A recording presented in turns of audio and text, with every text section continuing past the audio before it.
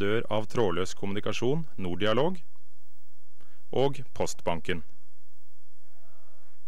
Ja, vi begynte med dommeren Roy Helge Olsen, som dømmer oppgjøret i dag. Han har to ganger dømt um, cupfinalen på Ullevål. I 91 da Strømsgodset slo Rosenborg med 3-2, og i 97 da Vålerenga slo Strømsgodset med 4-2. En av våre beste dommere, Roy Helge Olsen. Og i denne første omgangen så er det Rosenborg i helt hvite drakter som forsvarer uh, halvdelen der på venstre side. Og vi husker fra forrige søndag 4-1 til Rosenborg på Lerkendal. Det er nå gått elleve seriekamper siden Lillestrøm har slått uh, Rosenborg. Men som jeg nevnte, her på Åråsen har Rosenborg i cupsammenheng aldri slått Lillestrøm.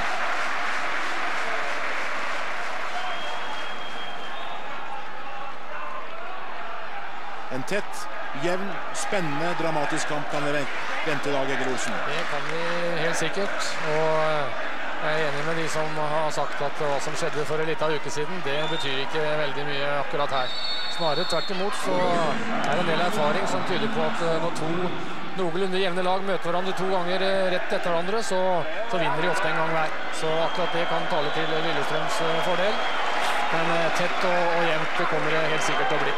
Rosenborg i dag starter med ni spillere som er norskmester. George og Dorsin har til nå da ikke vært med å spille på Ullevål stadion og blitt mester for Rosenborg.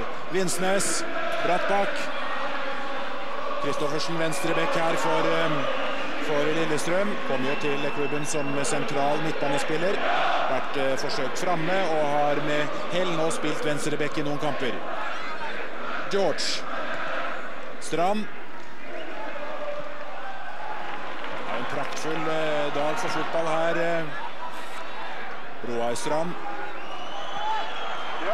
Strand eh, Pål Strand vinner den duellen. Bra gjort.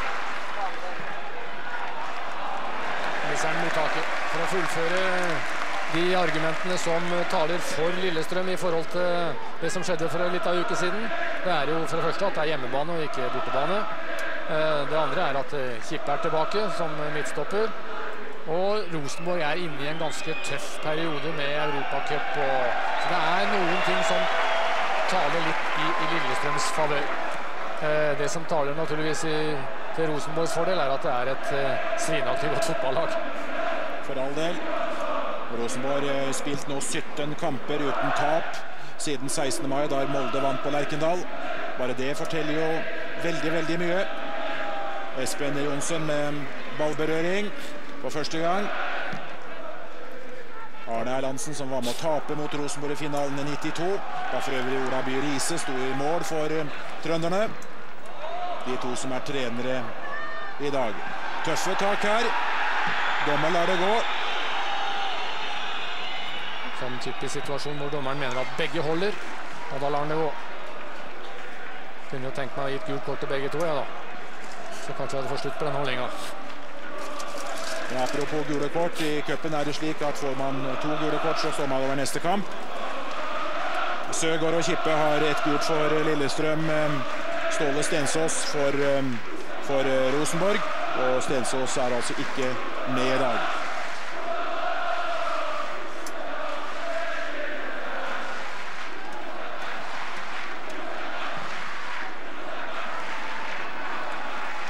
si litt oppjaget, litt nervøst her, som ventet i åpningen.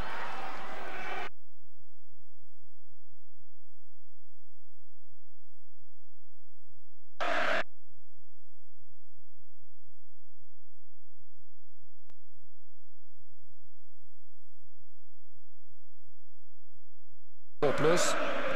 Ja, med på det.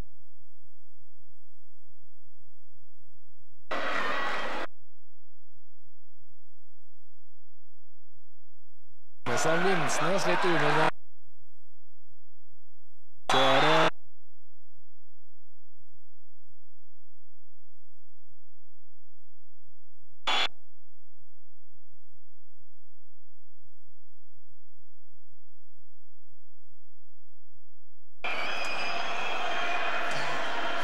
Rosenborg opp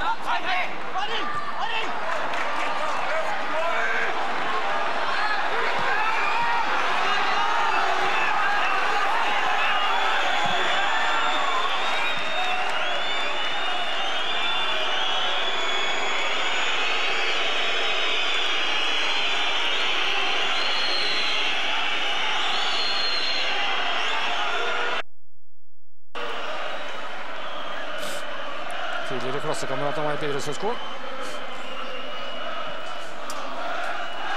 La oss håpe at uh, Riseth um, fort kommer på beina igjen. Tøft program for Rosenborg. Landslaget har um, samling allerede over helga, og det er ikke lenge til den første VM-kampen uh, borte i Italia mot Palermo. Eh, mot Italia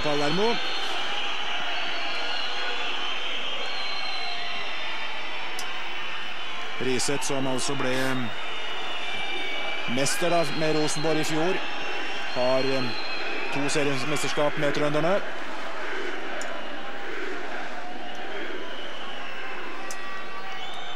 Ja, ser ut som han har fått uh, skikkelig smell i uh, låret, beinet.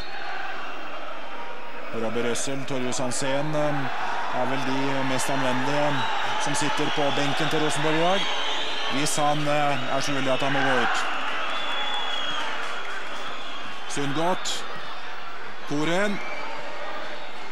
Basma. Den farlige operasjonen av Basma, og det fører til et innkast for Lillestrøm. Hadde kontroll, og så tok han en vending utover mot cornerflagget.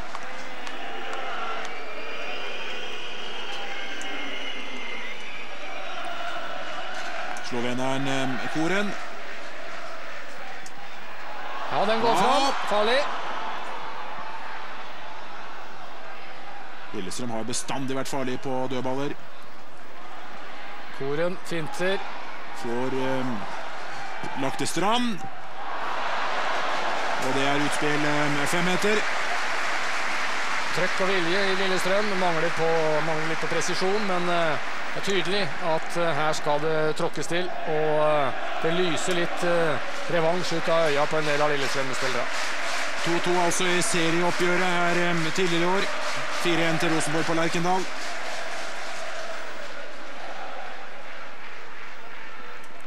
Og sist disse møttes var i 97. Da vant um, Rosenborg i cupen 5-3 etter ekstraomganger. Og Lillestrøm ballen i angrep. Bak uh, Pål Strand. Upresist fra Koren. Aldri noe lurt å spille bak en spiller som er på vei framover.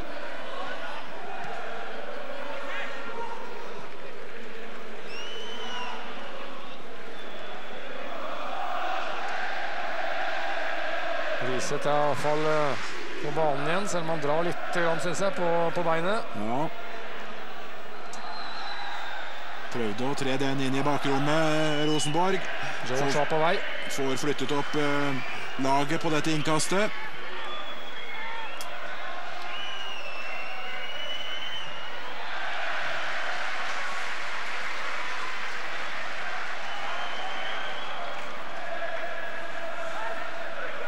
Bra gjort av Andersson, som hindrer innlegg.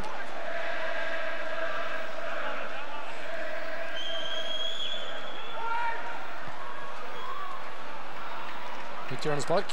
Det er corner, ja, for um, Rosenborg. Rosenborg som er i sin 28. kvartfinale i dag. Lillestrøm i sin 25. To av gigantene i em, cupsammenheng. Brattbakks hjørnespark. Og selv Koren ombestemte seg og gikk ned til egen 16. Det er Leisgrud Det er på direkten. Nytt hjørnespark. Trøkk nå fra Rosenborg. Klarer å skape på, på dødball. Og vi tipper Arne, ved at vi kommer til å se minst én dødballskåring i løpet av kampen. Ja, det er ikke noe dårlig tips. Rosenborg nå med fem stykker på 16 meter. Én foran keeper. Det er en vill slåsskamp nesten foran eh, der mellom eh, Setter fort i gang der. Baron. Kolen er alene, da, men det kommer jo folk bakfra. Skal vi se, Nytt tør å fullføre. Det er bra slått. Løpa Søgaard. kommer. Søgaard kommer. Og kanskje et uh, gærent valg. I og med at det var kommet Lillestrøm-spillere fram der. Men skyter man ikke, så blir det jo heller ikke mål. For sjeldent. Det hender. Det er Kippe. Og det er Berg. Er de nære på å få en gratissjanse, men eh, må nøye seg med innkast. Ja, tre Rosenborg-spillere mot to Lillestrøm-spillere.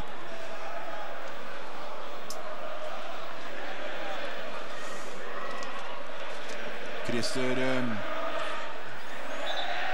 Basma ut der.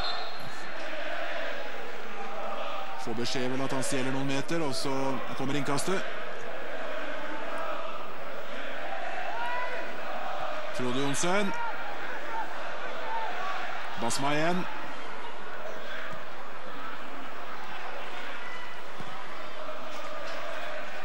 Den leser Hoftun veldig bra. Og Der kommer Frode Johnsen fra en offside med en fordel Lillestrøm, så det blir ikke noen avblåsning.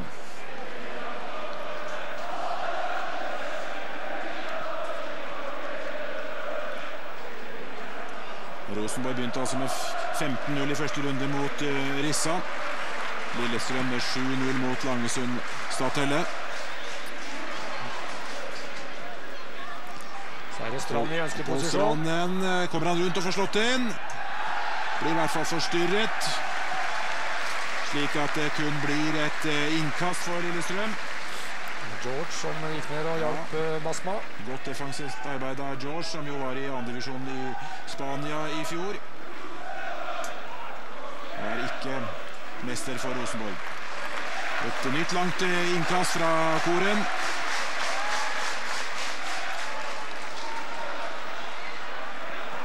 Så kan Rosenborg kan kontring. Komme. Brattbakk på venstre. Det er fort eh, fire mot tre her. Linsnes. Det er bra gjort. Farlig. Og en eh, god redning. Ingen retur der, for der var Frode Johnsen for å fange opp en eventuelt retur fra skuddet til eh, Brattbakk. Bra kontring av Rosenborg. Kunne nok fått enda litt mer ut av men vi noterer i alle fall en, eh, en målsjans til eh, Rosenborg. Kampens eh, første. Veldig spiss vinkel for Brattbakk. Toppskårer i Norge, vet vi, i seriesammenheng. Hadde muligheten til å spille inn foran gålen der òg, men valgte å skyte. 73 mål har han gjort i cup for Rosenborg eh, Brattbakk. 8 for Bodø-Glimt. Det er jo en imponerende liste. 81 skåringer. Også en dårlig pasning fra Kristoffersen.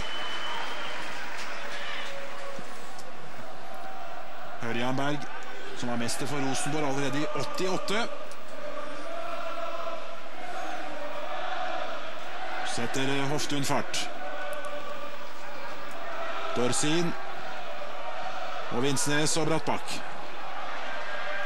Klarer manøveren ned på å holde ballen i laget. Blir mye trekk nå, så stikker ja, George og ikke Nei, ikke offside. Og da skal det kanskje være 1-0. Det er Like, like utenfor. Kom veldig lett til der. Virker som Lillestrøm kanskje ventet på en offside. Ja, de spilte litt på offside. Jeg tror eh, linjemann, dommeren, har eh, rett. Jeg tror han eh, var på rett side. Der ser vi det igjen. Ser du det? Ja, jeg tror det holder, selv om ikke Ja. vi ser akkurat eh, Ser ikke pasningen når den blir slått. Ja, En eh, bra sjanse for eh, Frode Johnsen blir det jo, med yttersiden av venstre. Rosenborg nærmer seg. Målsjanse nummer to. Den var større.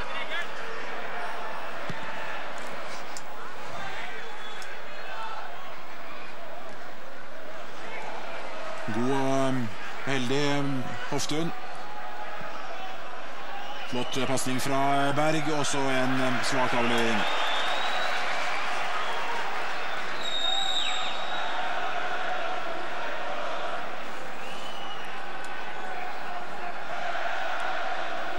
Nærmer oss 14 minutter. Um, Rosenborg, det vasseste laget her i åpningen av kampen.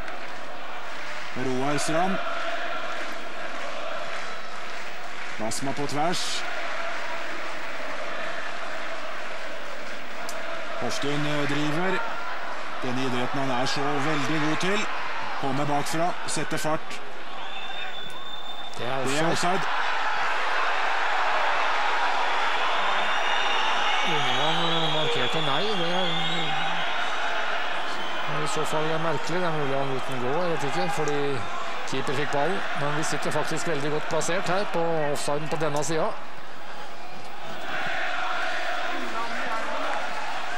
Lillesund en sjanse til å få flyttet fram spillet. Og vi ser på eh, selv disse innkastene, så går Frode Kippe opp.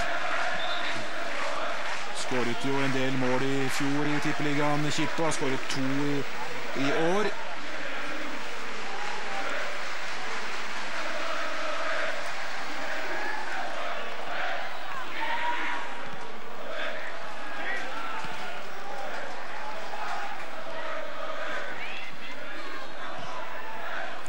Rosenborg ut fra. Frode Johnsen. Og så George. Dorsin kommer på venstre. Litt unødig der kanskje å ta med seg resten av laget og få hele Lillestrøm på, på rett side. Roar Strand. Myra én mann. En eh, flott ball venstre. En bra mulighet for innlegg. Og der er eh, Baron og plukker litt.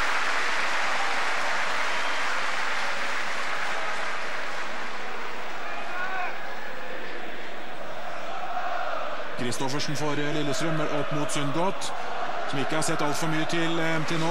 Taper i lufta mot Vidar Riseth. Pål Strand. Der um, Blir.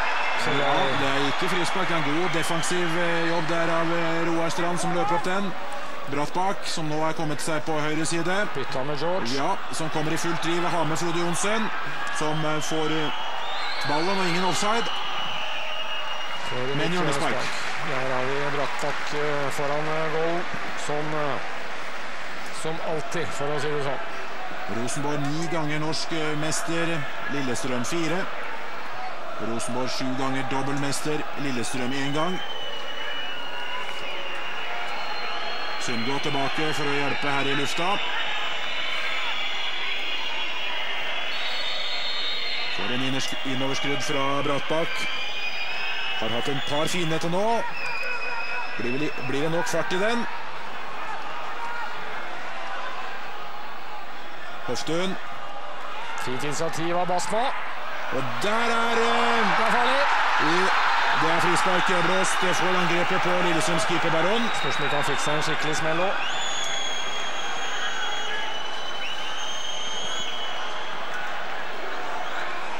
vi se om igjen her. Kaster seg ut. Ja, i en duell der med Frode Johnsen. Det så ikke så veldig stygt ut. Gikk ut bra.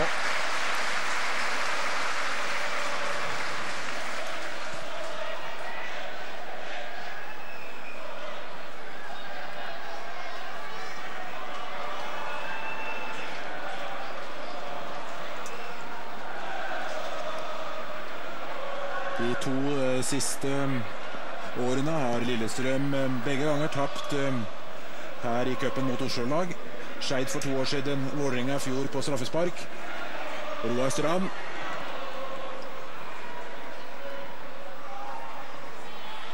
Ja, spiller så elegant ut der, Rosenborg, inntil feilpasningen kom. Ja det er alltid en balanse det der. Ball søker hånd, og enig med dommeren at ikke det er noe straffespark. Naturligvis. Kan ikke også på sånt. Men det var et brutalt forsøk fra Lillestrøm. Rosenborg som rota seg bort. Her kan vi komme til en avslutning, og det blir ikke nok trøkk i det skuddet. Ja, det er sånn typisk brattatt. Drar seg inn på banen, finter skudd en to-tre ganger, og så kommer avslutninga til slutt. Men som du sier, ikke nok trøkk i Enkelt for Baron. Blir nok litt hindret også der eh, av Kristoffer Andersson, svensken, men det er kanskje en del av eh, spillet i dag.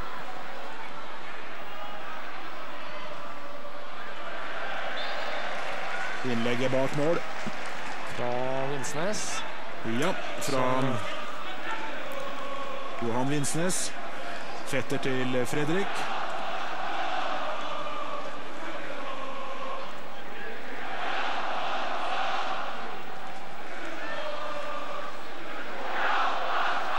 Passert 19 minutter, og de store mulighetene, de store sjansene har vi ikke sett her på Åråsen til nå. Ja, det er Rosenborg som har hatt to som har vært nærmest, men eh, ingen har hatt helt store. Lillestrøm har faktisk ikke hatt en eneste skikkelig sjanse. Dorsin, det er vel offside igjen. Lindemann er ikke opp med flagget. Ja, det skjønner jeg ikke hvorfor ikke han eh, gjør. eh, Unnskyld, jeg får rette til assistentdommer, så jeg ikke får alle disse mailene om at det heter Linje, eh, ikke heter Lindemann lenger.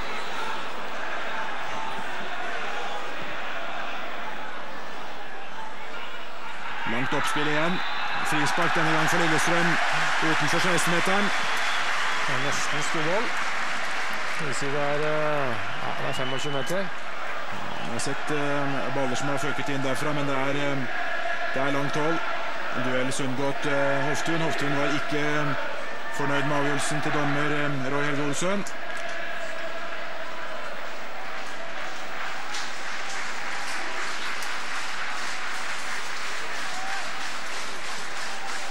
Lillestrøm fem spillere på motsatt side. Blir det Strand som skal forsøke med venstrebein derfra da? Da, da tror jeg kanskje det kan bli et skudd. Det blir det! Og da- Ja, kjempeskudd og flott redning! Ja, en av to av kampens em, prestasjoner til nå. Strands skudd, redningen til eh, landslagsaktuelle Espen Johnsen. Den er langt oppe i nummer ni. Det er eh, godt tatt. Vi noterer Lillestrøms første sjanse. Det skal nesten ikke være mulig å skåre derfra, men eh, bare nesten. Og det ble faktisk ikke så langt unna. Får vi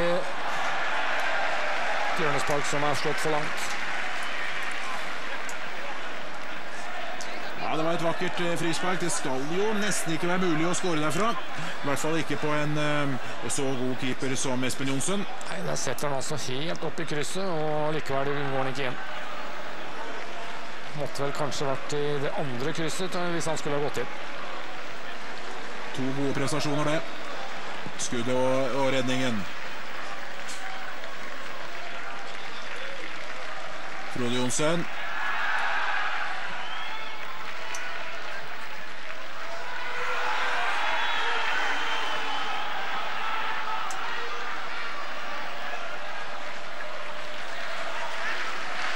Kristoffersen for Lillestrøm. Koren og um, her har vi Pål Strand. Ja, heldig der, Strand. Går forbi to Rosenborg-spillere, så er det slutt. Får tilbake ballen. Og det tatt. frispark. Det er en farlig posisjon. Skrur den innover. Da må vi vel ha en høyrebeinsspiller, ikke eh, Strand. Nei da.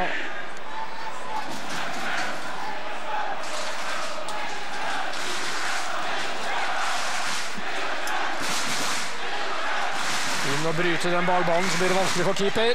Farlig. Det var vel ikke nok fart i den eh, ballen der.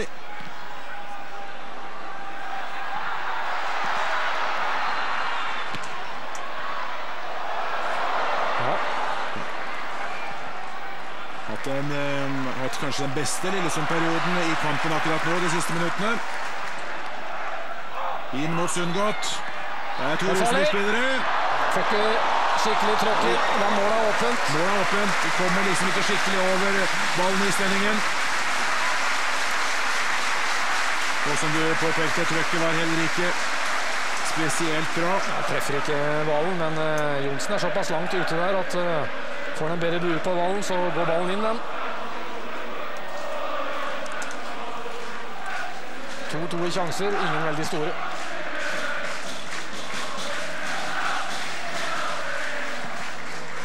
Vel i denne første omgangen. Hoftun kommer eh, foran og bryter, eh, bryter kjent tid foran Sundgodt. Spiller jo dristig igjen, men de har gode ferdigheter Rosenborg og klarer eh, å spille seg ut. Ser her Hoftun gjør to fine ting der, og så blir det helt opp til Baron. Er vel ikke helt fornøyd med tingenes tilstand der, eh, Ola By Riise.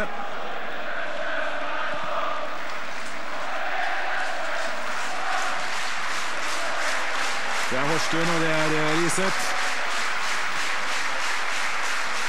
Den er ballen fort tilbake i forsvar til Rosenborg. Strand. Misser på innlegget. Slår, eh, slår det innlegget ut av balanse.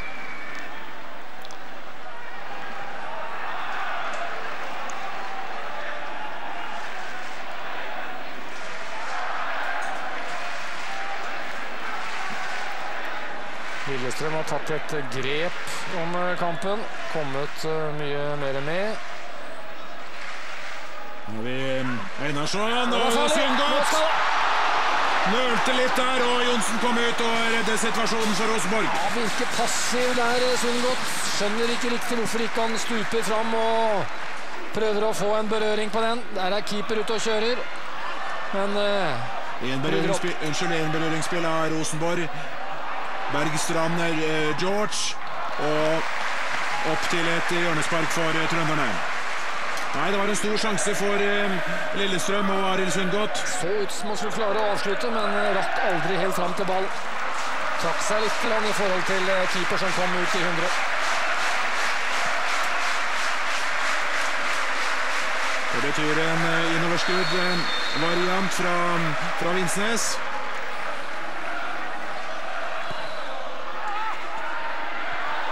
Ja, det- der var eh, baron i ingenmannsland. En farlig utrykning der av eh, Lillestrøms keeper. Men eh, heldig for Lillestrøm at, eh, at headingen var såpass dårlig. Det var en sånn verken pasning eller avslutning. Litt midt imellom fra Hoftun. Ser her Som går altså høyt. Ja, Hoftun header utenfor etter at Lillestrøms keeper har spilt seg ut der. 20 minutter igjen av første omgang. Ingen skåringer.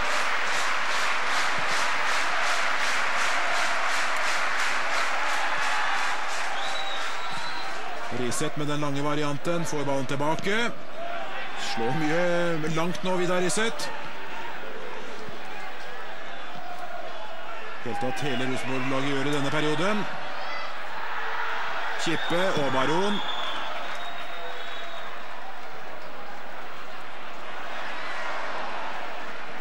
Sikker der eh, Hoftun.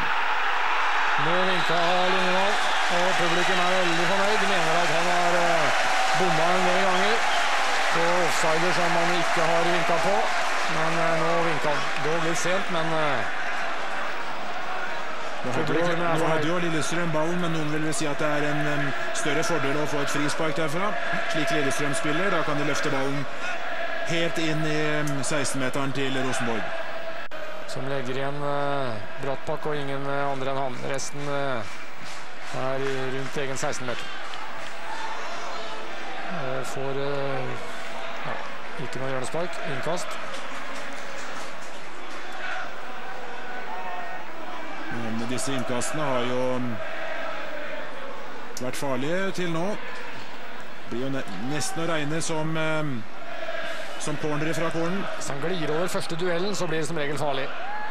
Der, der kommer duellen. Glir ikke over. Rosenborg vinner.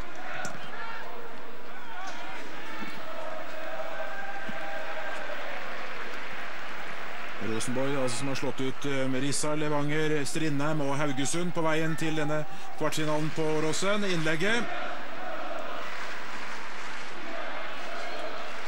Lillestrøm har slått Langersund, Statelle, Lillehammer, Hønefoss og Tromsø.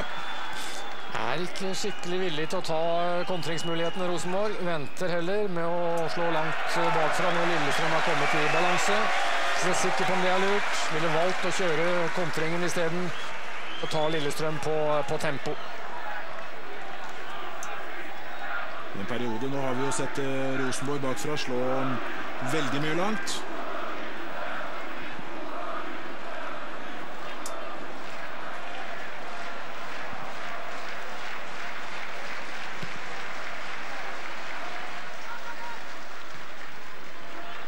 Der Brattbakk Ja, veldig bra. Så nøler han veldig. Det ble fulgt av um, Pål Steffen Andresen. En som har allet opp i Lillestrøm, og som har gått inn og spilt bra som midtstopper på dette laget.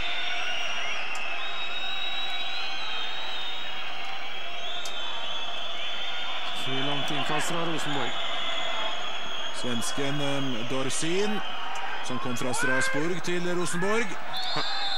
Frispark eh, dømt inne i feltet. Bare på Frode Jonsson. Frode Jonsson som em, en gang har vært Køttmester cupmester for eh, Rosenborg. Ja. Det var for, det er vanskelig å si fra vår posisjon i hvert fall. Så var det et annet veldig mye klarere frispark der inne. En Rosenborg-spiller som ble dytta over ende. Med den gamle leksa innenfor 16 så gjelder ikke reglene likt for de to lagene.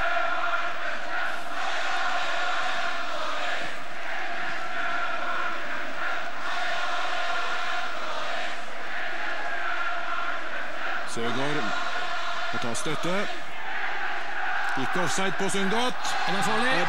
Han legger fint ned. eh, Einarsson kommer ikke riktig eh, i vinkel på, på pasningen.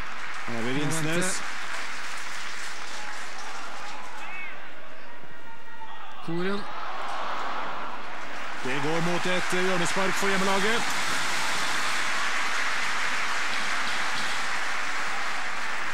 Da kjører Lillestrøm opp de to eh, høye, gode hodespillerne fra midtforsvaret sitt. Høyre midtstopper opp. Sidebekkene ligger igjen sammen med Brattbakk. Og det er eh, Pål innover Innoverskrudd. Det er bra slått. Men eh, Frode Johnsen er ikke god bare foran motstanderens goal. Han er god også i eget straffefelt.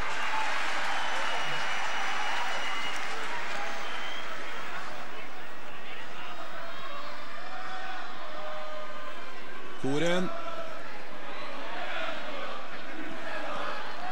Bra gjort, og det er frispark.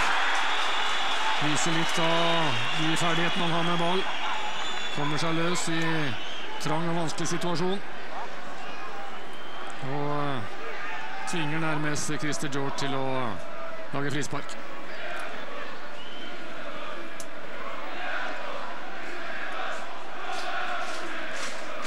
Og Da er det Bekken som går fram opp og tar tallet. Igjen var det Frode Johnsen bak der. Og Lillestrøm holder trøkket. Farlig. Nytt hjørnespark. Rosenborg begynte jo best i denne omgangen, men eh, Lillestrøm har sakte og sikkert eh, nå de siste 10-12-15 minuttene kommet mer med. Og skapt en del halvsjanser. Kommer til dødball, farlige dødballen, en del cornere, og de har hatt et par farlige frispark. Så Rosenborg lever litt farlig.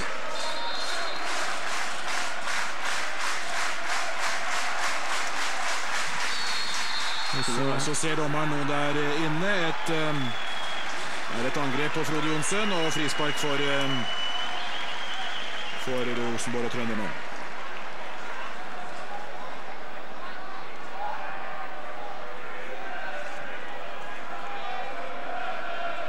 Johnsen bruker god tid. Eh, alltid vi ser Rosenborg eh, drar ned tempoet på den måten der. I hvert fall ikke så lenge det står 0-0 i en kamp.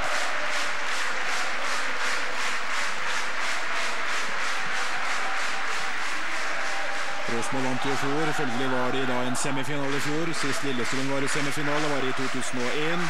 Tapte hele 4-0 mot eh, Bryne.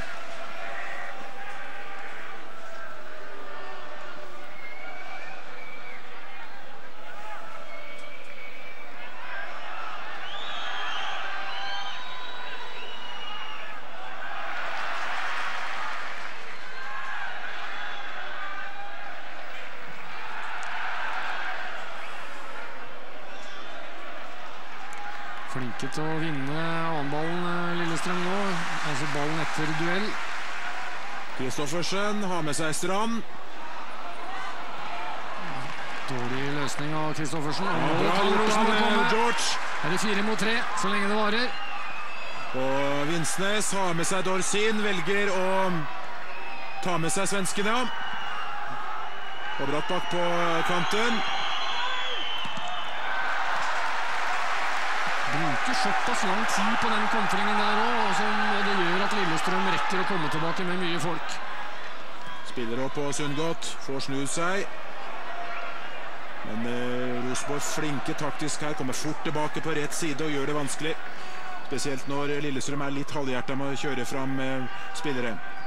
Ja da, Til min smak så er begge laget litt for sirumpa, litt for lite dristige til å utnytte kontringene. Nå har Rosenborg en ny sjanse, men nå kommer de De kommer nesten ikke i det hele tatt. De har med seg et par spillere. Basma kommer i hvert fall her, har med seg George på høyre. Roar Strand inne. Som får ballen her, Roar Strand. Den er farlig! Ja. Nå skal det kunne bli Basma noe! til kanten. Og der, da! Det var eh, Frode Johnsen som kom til avslutning. Naturligvis, men klarer ikke å få trøkk i headinga.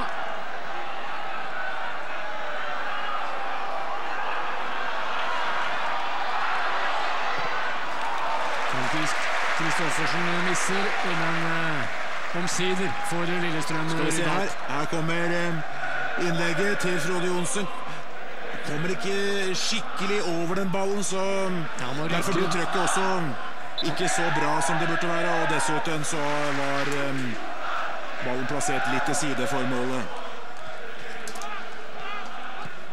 Basma. Riseth.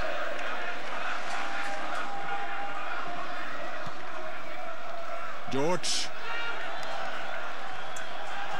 Andresen og Kristoffersen.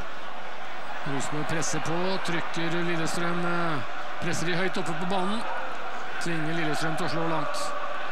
Det er ikke Lillestrøm det vanskeligste å, å be om akkurat det, da.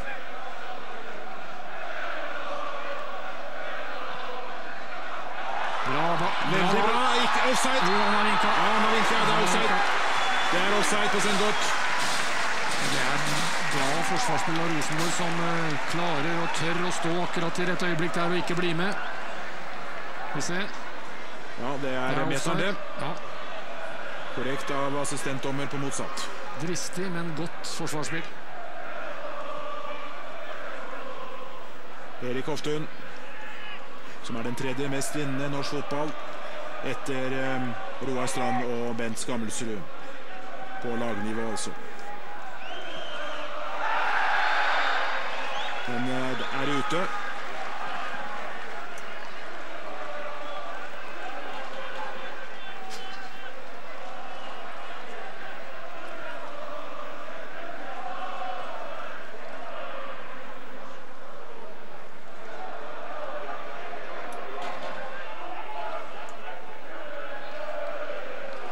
Vidar Iseth for Rosenborg.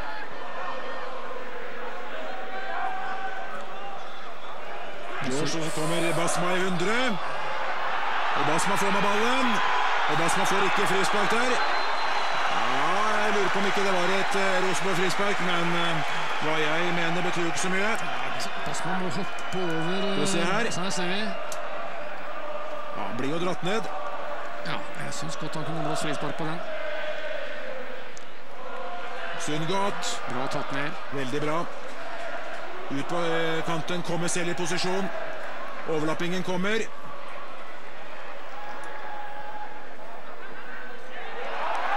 Godt gjort av Sundgått igjen. En fin redning av Espen Jo- Johnsen. Han prøver å plassere den i, i hjørnet der, og Sundgått er litt for treig i avtrekkeren på, på returen. Starter litt for sent. Her ser vi det igjen. Ser her. Hadde ballen gått mot, uh, mot høyre. Sett fra Espen Johnsen så hadde um, Einarsson vært der. Koren som prøver å trille den i hjørnet. Det er uh, Pålstrand, og det er uh, bra slag. Er det ikke skåring? 1-0 til Lillestrøm. Det er Gulfi Einarsson, så vidt jeg kan se. det er det. Han skårer sitt uh, femte cupmål. Har uh, Gulfi Einarsson har uh, ni i, i ligaen, og når vi ser den, så er jo Espen Johnsen der. Skal vi stille spørsmål om keeper skal være med der? Ser vi her. Ja, Han kommer opp der i, i duell med keeper og Frode Johnsen, og Lillestrøm leder 1-0. Veldig nær gålen. men det er jo en eh, kjempeprestasjon å komme over den ballen og eh, klare å styre den inn i hjørnet. 1-0 til Lillestrøm. Og noe bomba at den kom på en dødball er det vel heller ikke. Det er ikke. Riseth med en lang variant mot Brattbakk. Det var veldig lite presisjon og lite mening i.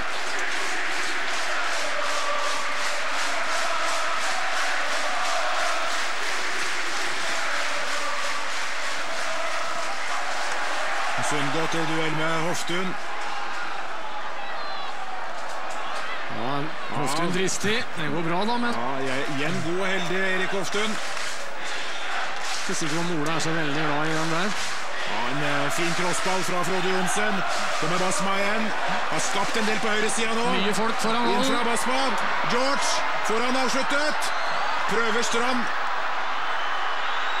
Linsnes bruker for lang tid. For lang tid. Og Lillestrøm får en em, overgangsmulighet. Horen vil ha ballen i beina. Det er upresist.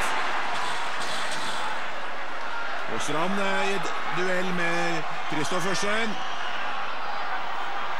Og Strand kan avslutte, og gjør det over. Ja, nå lever kampen, Arne. Nå er det morsomt her.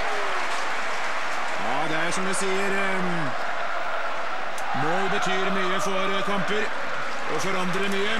Flott av Strand. Han skåret jo et veldig flott mål i en av finalene sine. Det var vel um, for ni år siden mot Brann. Roar Strand. Ikke si det, Jeg spøker. Jeg har ikke oversikt over det der. Har du ikke det? Det er du som har. Er vel ikke like sikker med venstre, Roar, som han er med høyre. Og uh, holder ikke en halvmeter over. Bruker Andresen i oppspillsvarianten her. Der fikk eh, Lillestrøm rom eh, i midtbaneleddet og bruker det. Så ofte de gjør det. Og så Medskårer med en støttepasning. litt unødvendig. Og Koren. Sundgodt. Her leser eh, Hoftun. Han har full kontroll. Hoftun har jo begynt veldig bra. Jeg har vunnet de fleste duellene med Sundgodt. Prøver Rosenborg seg på det veldig vanskelig der, og ender igjen med å måtte slå en langpasning eh, litt i, som en nødsituasjon. Strand og Vinsnes. Brattbakk på venstre. Bra spilt. Og så misser mottaket, dessverre.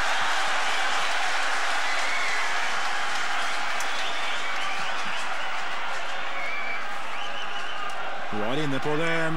Rosenborg begynte best og overtok Lillestrøm. Og så har Rosenborg vært, uh, hatt mulighetene på um, disse um, overlappingene sine og de kontringene vi har sett. Spesielt den, med, Gode innlegg. ja, spesielt den situasjonen med, med Basma Frode Johnsen var veldig bra. Det er bra spilt av George. Roar Strand tilbake til Christer George, og her er helt alene! Der hadde han tid! Burde Brattbakk ha stoppet og styrt den under. Det er jo fristende å få Kremmerhus på direkten der, men um, vi ser igjen. Antageligvis like overraska som veldig mange andre at han får lov til å stå så alene i den posisjonen der. Regner vel med at han har en i ryggen. Det har han faktisk ikke, og kunne ha brukt mer tid. Men eh, tar en sjanse, klapper til på direkten. Og Brattbakk har ferdigheter til å sette den under tverrliggeren. Det har han gjort før. Noterer en ny sjanse til Rosenborg. Tett og spennende antyda vi at det kom til å bli, og det har det blitt. Og Der er det spørsmål om ikke um, en Rosenborg-spiller kommer fra offside, men um, assistentdommer er nede med flagget.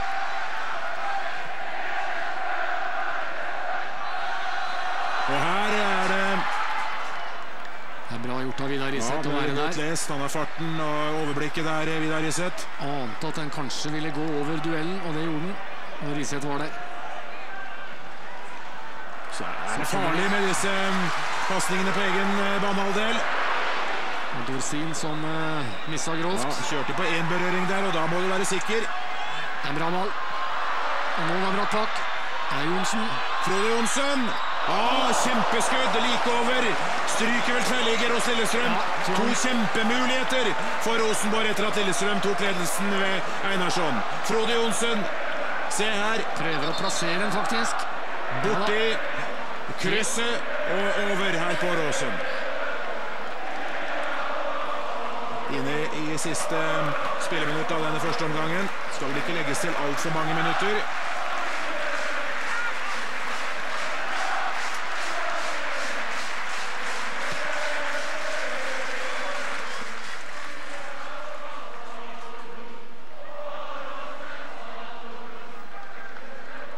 Her har vi Dors, Dorsin, som altså kom fra Strasbourg, men har, spilt mye i Helsingborg som um, Kristoffer Andersson. Og det er makt i ett minutt.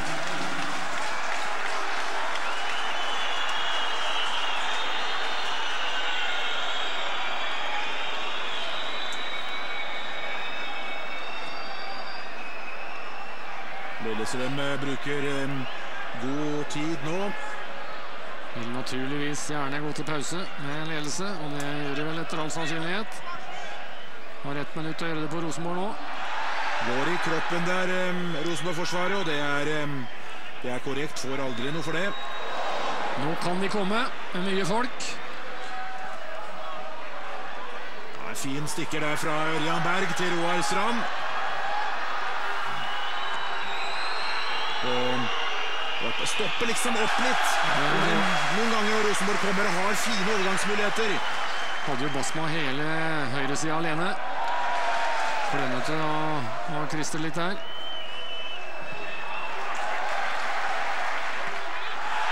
Fordel Lillestrøm. Ja da, nå kan de komme med mye folk.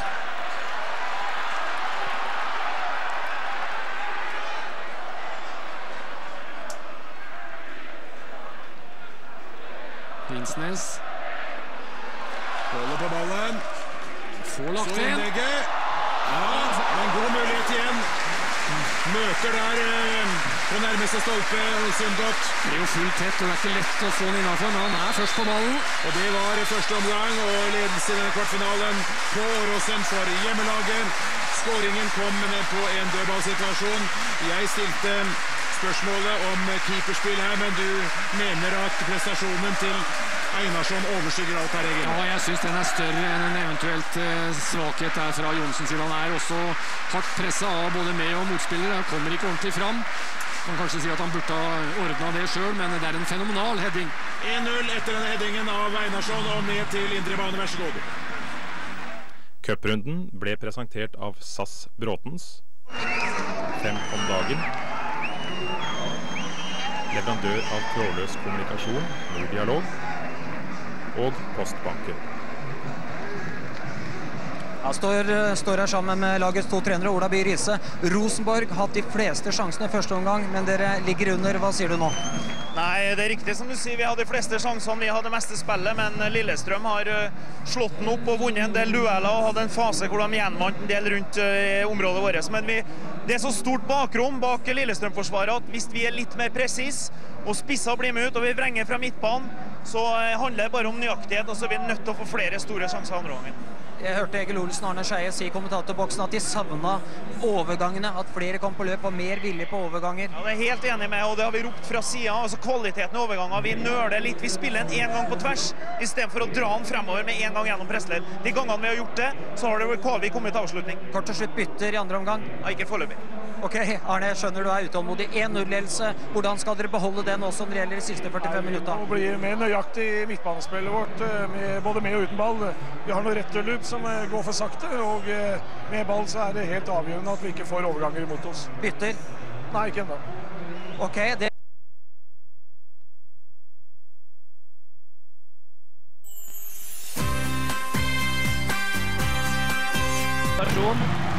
Johnsen å ta den. Han spreller som vanlig litt for mye etter min smak.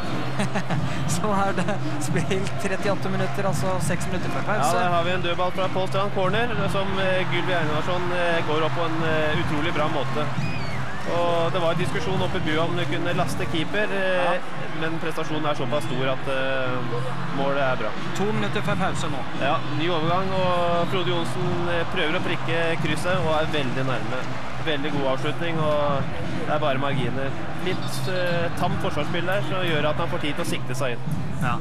Eh, Det ble sagt før kampen, i hvert fall fra Ola By Riise sin side, at eh, det laget som skåra først på Åråsen i kveld, hadde han troa på kom til å gå med seieren. Ja, det er så jevn kamp her at uh, her er det en kjempefordel å, å lede 1-0. Og her får su- supporteren kommet òg, men uh, det blir en del bytter som kan avgjøres etter hvert her. Du har Daniel Bråten og det er Powell på andre sida som gjør at det er mye å gå på her. Dere ser lagene er på vei ut på banen, og grunnen til at jeg lo sammen med Torgeir her på, ved studioet vårt, var at uh, kanarifuglen himself kom en tur innom. Jeg vet ikke hva vi kaller uh, maskotten her på Ja, Åråsen. han heter Gullik, og han gikk i hvert fall litt i veien nå, akkurat nå. Vidar Riseth også klar for uh, andre omgang, og det er forhåpentligvis også Arne og Egil. Cuprunden presenteres av SAS Bråtens. Frukt- og grøntleverandøren Bama.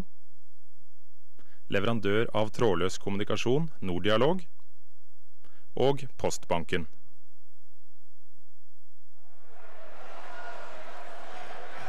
Vi gleder oss til eh, andre omgang. 1-0 til eh, Lillestrøm etter dette målet av Gulvia Einarsson. Om det ikke var altfor velspilt i første omgang, så var det jo spenning, og jeg tror vi får det overmålet overmål i andre omgang. Spenning, dramatikk og forhåpentligvis eh, også en del eh, godt spill her, Egil Olsen.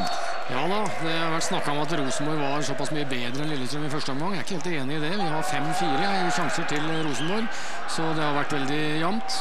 Og så kan du gjerne da si at Lillestrøm har hatt de, den lille marginen som skal til for å lede når du spiller eh, såpass jevnt i, i, i sjanser. Så, men eh, dette kommer til å bli tøft. Det, det kan jo bli en veldig lang kveld. dette, Arne. Det kan bli ekstraomganger, det kan bli straffespark. Det kan absolutt ri på en eh, 1-0-ledelse mot Rosenborg. Det er jo fryktelig dumt. Og så kan det komme sånne misser som det, og da er Rosenborg raske til å oppfatte slike situasjoner.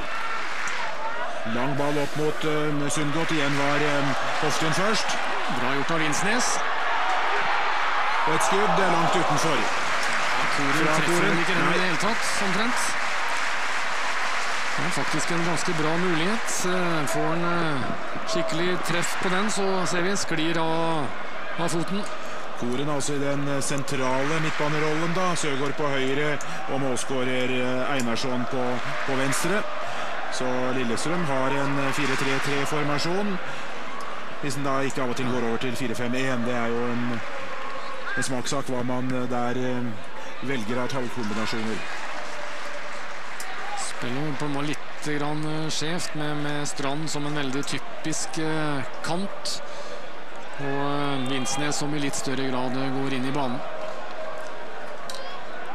Sundgodt. Langt ut fra Ørjan Berg.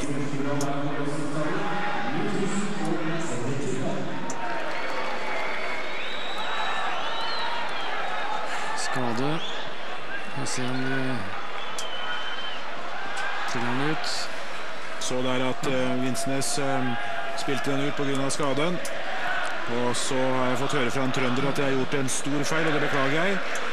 De to Vinsnes-gutta er ikke fettere, de er tremenninger. Beklager det. Pålitelig hold fortalte meg før kampen at de var fettere. Tydeligvis ikke pålitelig nok, Arne. Nei. Nei. Det er Søgaard som har fått seg en smell. Skal vi se om han da kan eh, fortsette her.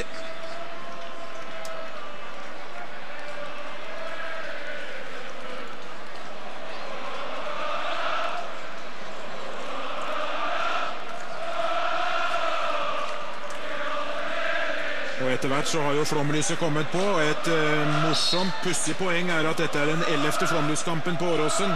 Og Lillestrøm står foran dagens oppgjør uten seire.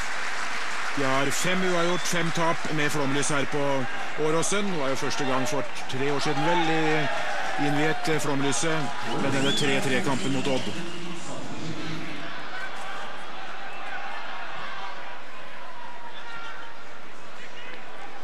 Kristoffersen.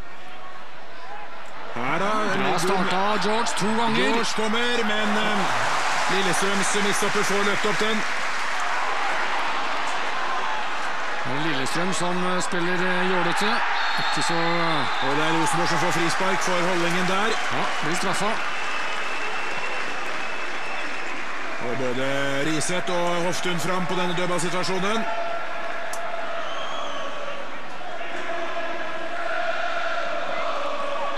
Brattak skrur den inn mot goalen, og så kommer løpa foran. Mye gode hodespillere der inne nå. Hvem er først på den banen? Han har det, skåring! Er og det er utligning! Og hvem naturlig, naturligvis Frode Johnsen. etter 3 minutter og 50 sekunder av den andre omgangen.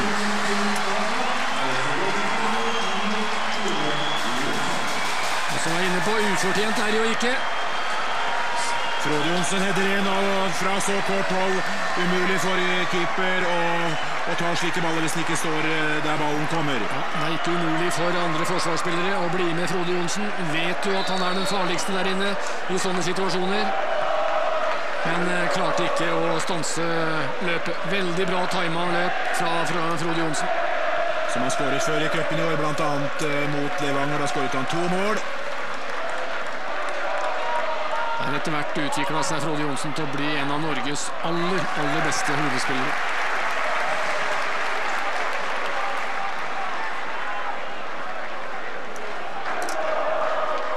Det skal vel Koren bort og kaste langt igjen, slik tilfellet var i, i første omgang.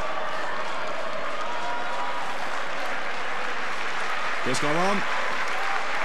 Den lange varianten og et frispark mot Lillestrøm inn i feltet som ikke Kippe forstår så mye av. Men dommeren sto bra plassert, og det er vel Det er vel greit i det tilfellet. Skulle gjerne ha sett om han dømt straffespark hvis det hadde vært motsatt. Men det er sånn det er. Det er lettere å få frispark utover der. Bra løp igjen. Åh. Christer Johnson er faktisk helt alene, men bruker litt for lang tid. Blir overraska sjøl over at han var så alene som han var. Ser vi hvor viktig det er å starte med en gang. Skuddet fra Strand. Redning Baron. Et par veldig gode initiativ fra, fra Christer George nå i starten av annen omgang. Bra pasning.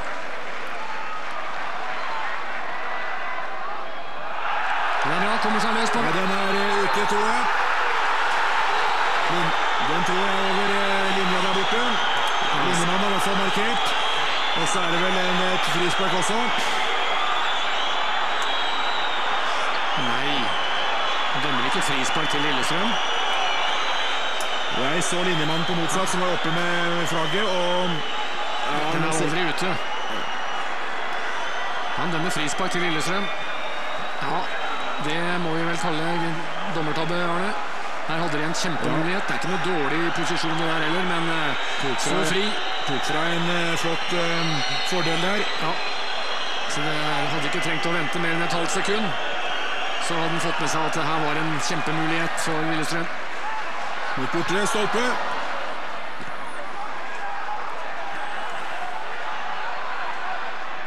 Kristoffersen og Baron. Nå kommer Rosenborg fort på de.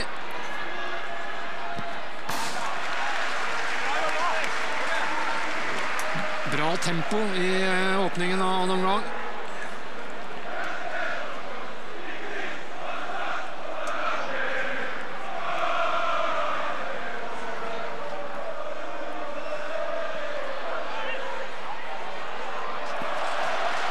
Vinsnes. Får en sjanse til Vinsnes. Men den får noe fra en motspiller, dommer. Kan det være mulig? Er det ikke Hoftun som header nå? I farten er jeg ikke helt sikker på hvem som header den der, men eh, Skulle jo tro at assistentdommeren var oppe i situasjonen. Jeg ser her, da. Jo, du har rett. Kan da ikke være noe offside? Nei, du har helt rett. Oi, oi, oi.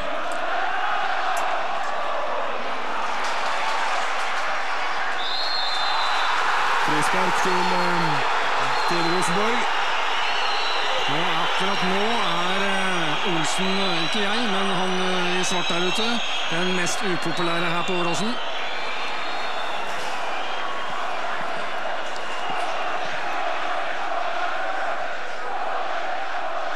Frispark for Lillestrøm.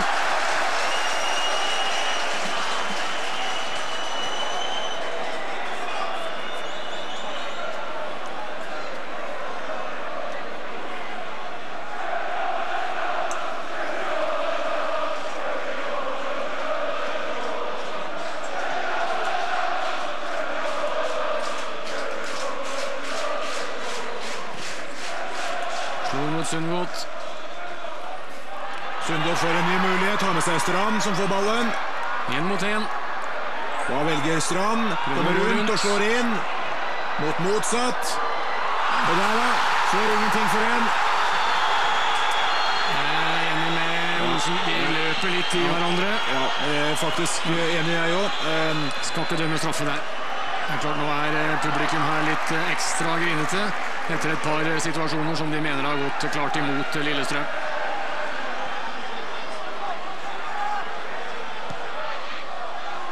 opp mot Sundgård. Ser vi situasjonen her, Egil. Det er altså et innlegg fra Pål Strand. Og Søgaard header ned. Det har aldri vært noe frispark mot Erik Hoftun. Nei, altså I så fall så løper de bare så tett oppi hverandre at de slår litt borti hverandre. Det er ikke noe bevisst. Det går ikke ut for å takle i det hele tatt.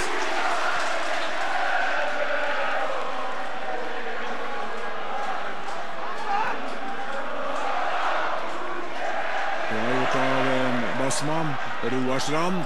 Slår tidlig på George, som er på hugget. Og det er store rom bak der. Det er vel et frispark for eh, Lillestrøm, ja. Ola By Riise var jo inne på dette som vi snakket om i første omgang. Det er store rom bak der hos Lillestrøm, så her byr det seg muligheter for raske eh, Rosenborg-spisser. Det er vel ingen av de som er lynhurtige, men eh, det var tydelig der at eh, Kristoffersen hadde problemer med George. Frode Kippe. Søgaard. Hinsnes igjen. Får et hjørnespark. Nei.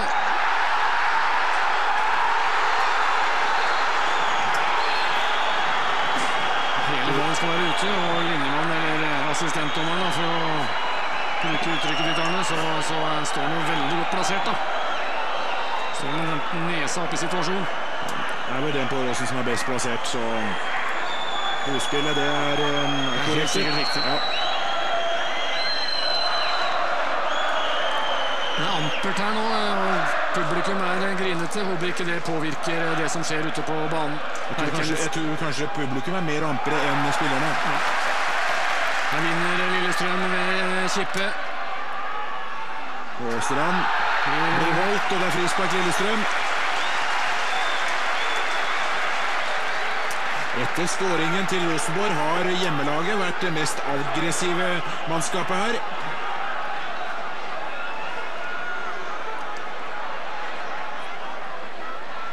Rosenborg legger igjen Brattbakk på topp. Eh,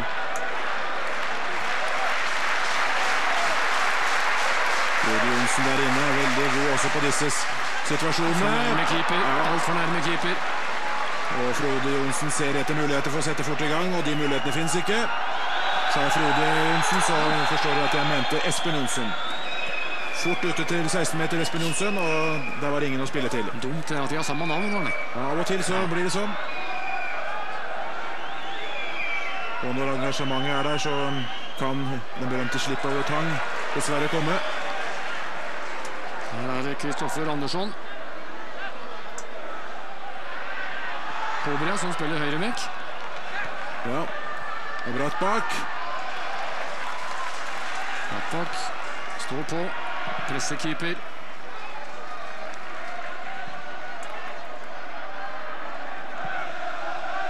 Det er vel en relativt klar offside, men eh, ballen inn til eh, Baron. Så klar at Brattbakk ikke er interessert i det hele tatt. Og da er det ikke noe vits i å blåse heller. Syns jeg oppfattet på spikeren at det er 9035 tilskuere på dette kvartfinaleoppgjøret. Lille Ørjan Berg vinner i lufta. Mister ballen etterpå. Sundgodt og Vinsnes. Klarer han å komme til innlegg? Det er ikke lett. Det er, eh, er tett pressa, men klarer å komme rundt. Får lagt inn. Det er langt hold. Blokkert. Går over hvis han går fram. Frispark eh, mot Sundgodt. Han blir holdt sjøl, men han kan ikke løpe gjennom folk heller. Her ser vi det Ser vi situasjonen her.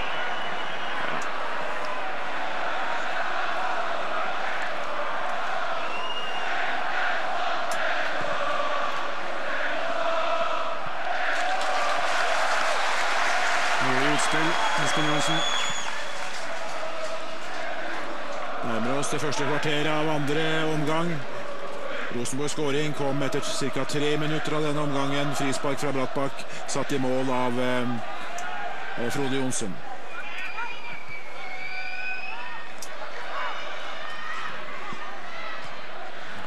Forsøker en gjort. Til slutt ennå. Strand er der borte.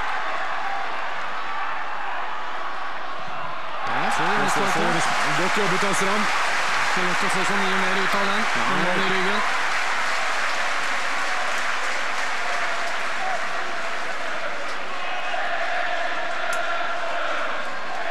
Siste situasjonen ehm, skulle vi se der, men i stedet tar vi ehm, Kristoffer Anderssons ehm, hjørnespark.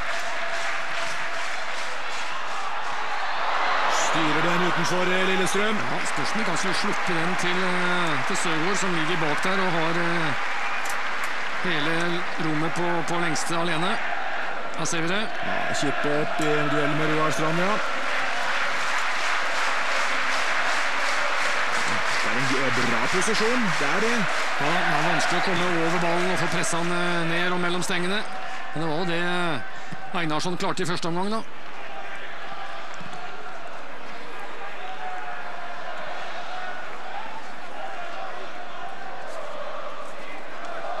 Det er flere som varmer opp på andre sida.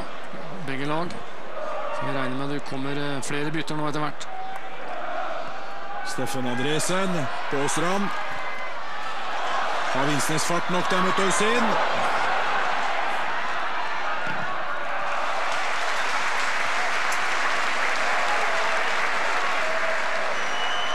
Det er tett, det er mange tøffe dueller.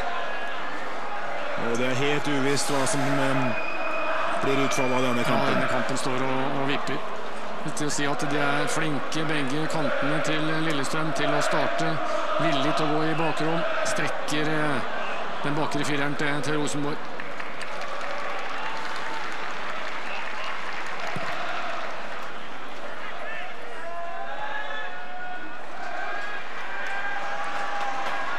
Gulfi Einarsson. Tar med seg Kristoffersen. Veggspill, og det er vakkert.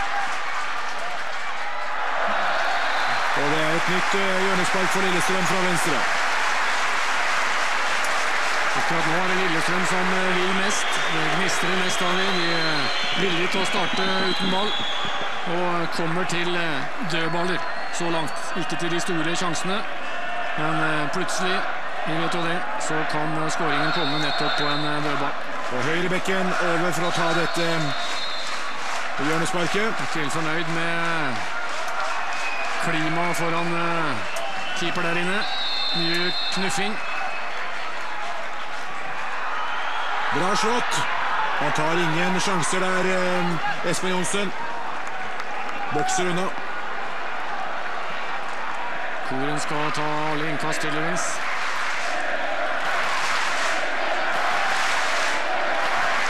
Rosenborg har trukket ned ti spillere rundt uh, egen 16-meter.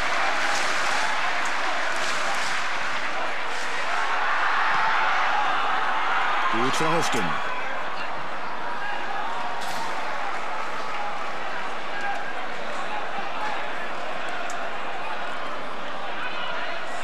Rosenborg får et lite pusterom.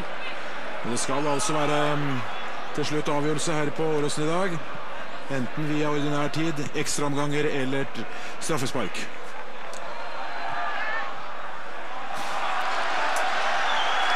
Nå snakker vi ikke om noe sudden death eller silver eller gold, golden Se på den! Og treffer ikke. Treffer Fram ned igjen av Koren. Andre gangen han har vært i veldig god skåringsposisjon. Andre gangen så mister han grovt med sk på skuddet. Har um, skåret ett mål i Tippeligaen i år, og skåret jo det veldig viktige målet i, i Tromsø da det ble 1-1, og Lillestrøm etter hvert uh, vant uh, straffesparkkonkurransen.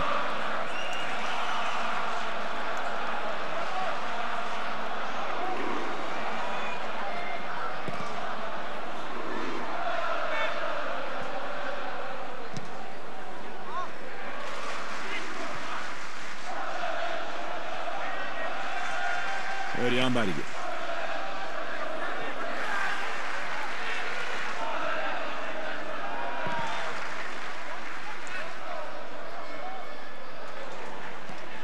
Riseth. Tidlig mot uh, Brattbakk. Stoppes i første omgang.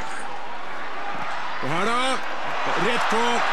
Gir en retur, men er um, over ballen igjen, eh, Baron. Det Et ganske tungt skudd med begge bein, eh, Brattbakk. Det er bra trøkk i den. Heldig for Lillestrøm at den er rett på Baron.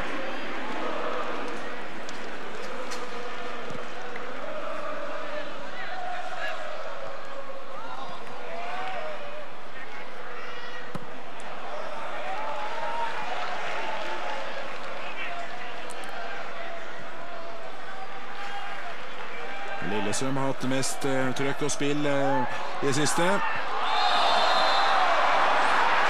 Et nytt frispark uh, mot Lillestrøm inn i, i boksen inn i feltet. Det er Hoftun som blir dytta. Vi ser her.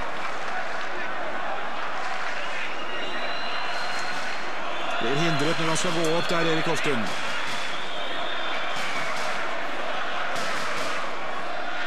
Det driver Hoftun ut i kjent stil. Vinsnes blir med Hoftun. Litt uh, dristig, så nå kan vi ikke finne på noe tøys bak der, og det gjør vi da heller ikke. Riseth, ja, det er det de gjør. Nettopp det de gjør. Og Hoftun er borte, men skal vi se da om de rekker å komme til avslutning.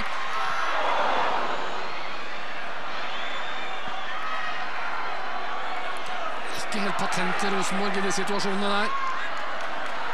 Veldig trangt, og Dorsin får ballen unna til en Lillestrøm-spiller, Andresen.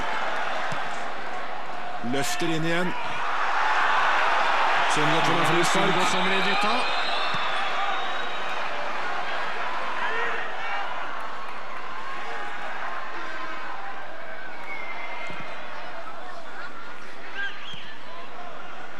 Nydelig tatt med av Berg Vinsnes. Brattbakk Vinsnes.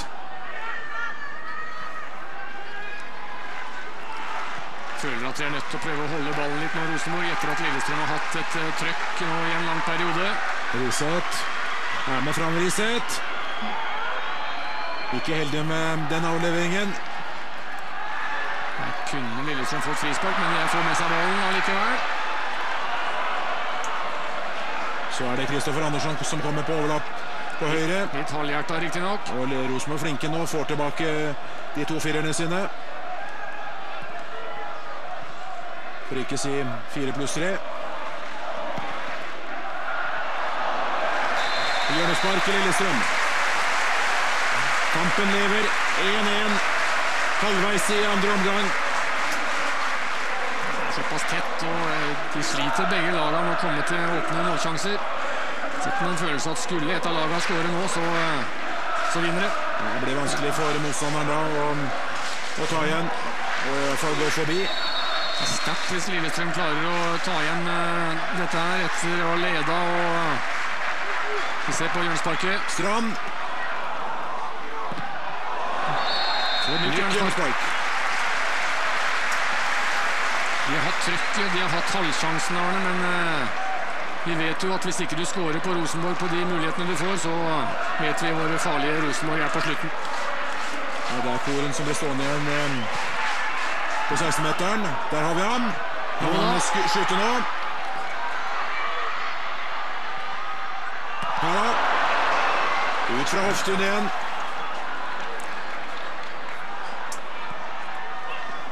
Massivt trykk fra Lillestrøms side. Det er bra spilt. Det er Vinsnes som legger inn. Og Hoftun som header ut. Til nytt hjørnespark. Meget sterk periode nå av hjemmelaget.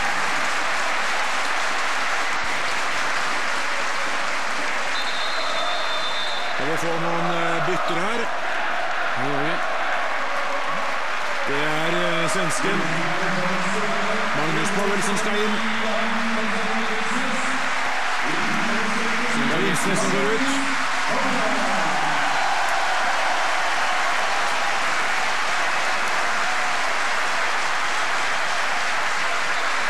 Betyr det at vi får et mer rent uh, 4-4-2?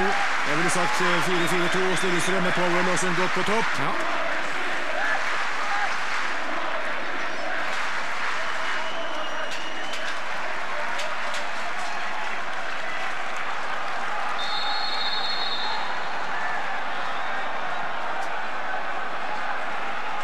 Stadig knuffing, slåssing foran gålen.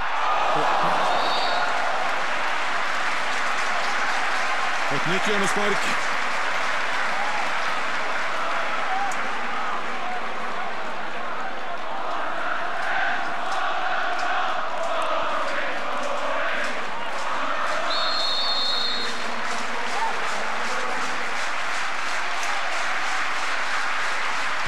Strand.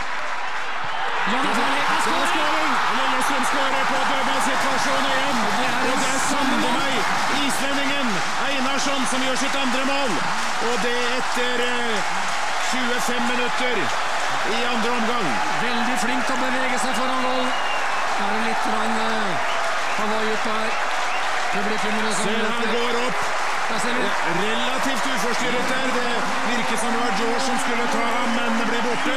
Se her. Beveger seg veldig bra. Det er ikke lett å ta når han først kommer seg løs. Her ser vi det. Og denne skåringen kom i et igjen veldig god Lillestrøm-periode. Har skapt eh, mange halvsjanser, fått utrolig mange cornere. Og nå tar de igjen ledelsen her eh, når det gjenstår 20 minutter på Åråsen. Og på dette tidspunktet så er det faktisk ikke helt eh, ufortjent. De har vært eh, best i eh, annen omgang.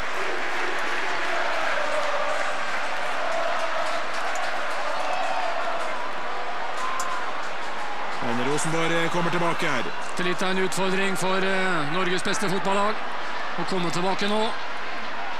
Den er vel bak. Ja, jeg tror den, eh, den er eh, over, og det er utspill fem meter, vel? Ja, det er det. To hjørnespark, to ganger Gylfi Einarsson. Begge har kommet etter glitrende enkeltprestasjoner i lufta. Hva skulle til å si, fra Pål Strand, begge to. Ja, ta med det. altså. Få slår jo bedre hjørnespark enn han. Det er fart i de, de er innoverskrudde. Han er sterk, eh, Powell. Dessverre for ham og Lillestrøm har han vært veldig mye skadet. Spilte jo midtstopper på Lerkendal eh, sist helg, da Rosenborg vant 4-1. Publikum veldig fornøyd med at eh, kjempen eh, Hoftun misser på et eh, slags brassespark. Ser nå at Lillestrøm ikke er så hissig på å kjøre folk inn i feltet på denne mm, dødballsituasjonen. Og nå følger alle Rosenborg-spillerne med inn. Bare Pål Steffen Andresen som ligger eh, igjen på midtstreken. Et eh, nytt hjørnespark. Det blir igjen fra Pål Strand. Det ville jo vært unikt, Arne. Hvis du skulle fått tre sånne med Strand eh, Einarsson, ja. Einarsson. Men jeg ville tro at Rosenborg nå, om de ikke har vært klar over Einarsson før, så vil det være en tett opp i ham. De ser, plasserer seg på, på lengste. Og der er det to spillere rundt ham. Et nytt hjørnespark.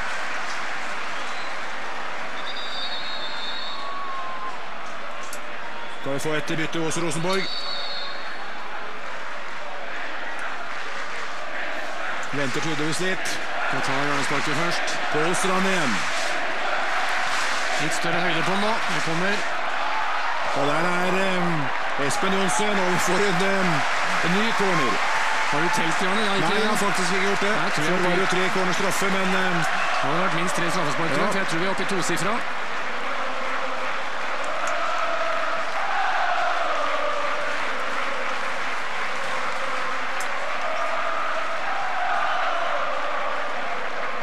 Og den svenske Andersson over. Tar alle hjørnesparkene fra venstre, skrur inn over høyre beinet. Det er bra slått. Og det er tverrligger! Og returen blir blokkert. Og skuddet til side og et nytt hjørnespark. Et enormt trøkk fra Lillestrøm side. Enormt i denne andre omgangen.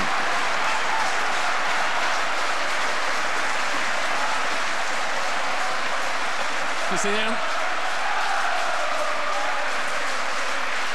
Rekker ikke å kjøre noe replay på den. Jeg må ha nytt hjørnespark. Se, se på det! Et kanonstraffespark, etter min mening. Da skulle vi gjerne hatt en reprise. Jeg så ikke situasjonen din, men kanskje har eh, vi den i reprise. Blir dratt ned etter alle kunstens regler. Jeg tror det er Søgaard. Og eh, Rosenborg kommer her.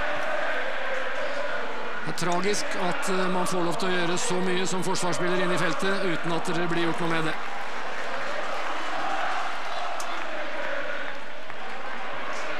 En eh, dårlig touch der av Sundgott Sundgodt gir eh, mulighet for Dorsin og Rosenborg. To mot én på kanten.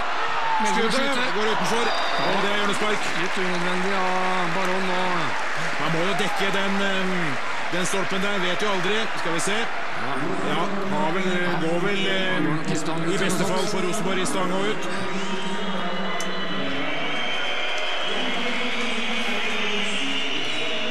Og i nytt bytte. Odd Inge Olsen inn, ja, for eh, Brattbakk, var det det? Forstrand. Fra Beklager, Forstrand.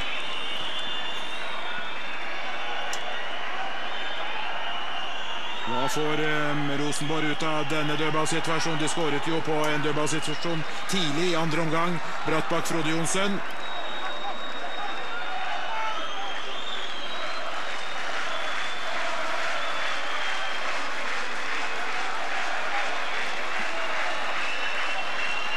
Brattbakk er ute han, og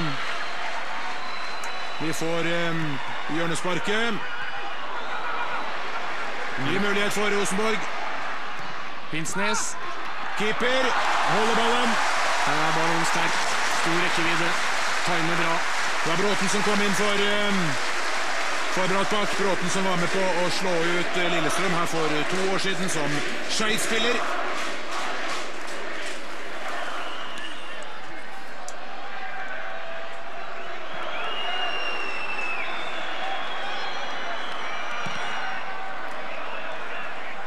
Mot Frode Johnsen.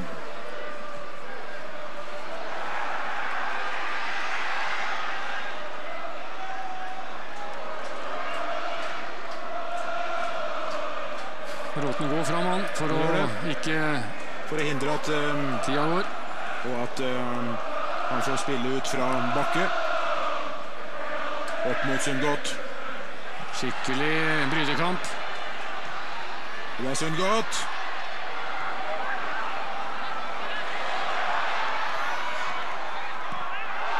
Det er jo på grensen til frispark, det òg, men uh, dommer eh, vinker det videre.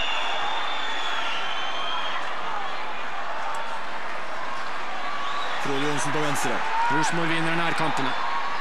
Bråten.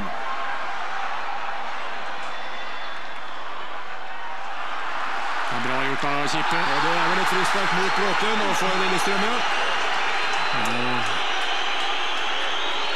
Nesten litt fare. Ja, han er faktisk først på ballen. Bråten. Betyr ikke at det nødvendigvis ikke er frispark, men Hvis du eh, drar ned motspilleren eh, på en eh, slik måte, så kan du blåse frispark. ja, du kan jo ta spilleren først, og så nå ballen etterpå. Klarer Lillestrøm å holde dette trøkket?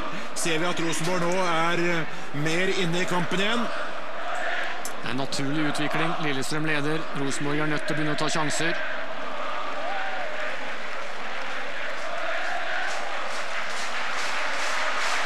Tolv minutter igjen av eh, dette kvartfinaleoppgjøret. I hvert fall når, når det gjelder en ordinær tid. Kan jo være mye mer.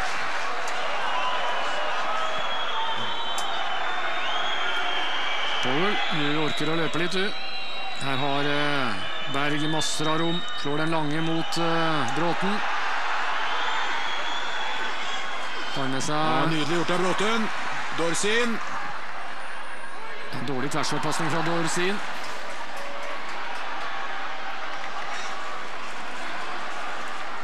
Strand Blåser opp imot, gjør det eneste riktige. mot Powell.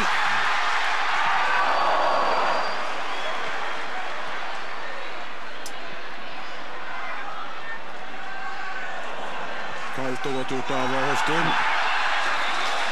En, eh, Ja, flagget kom, det kom veldig sent. Jeg kikka bort med en gang om Ja, det offside, men eh, det gjorde den ikke. Og så kom den etterpå.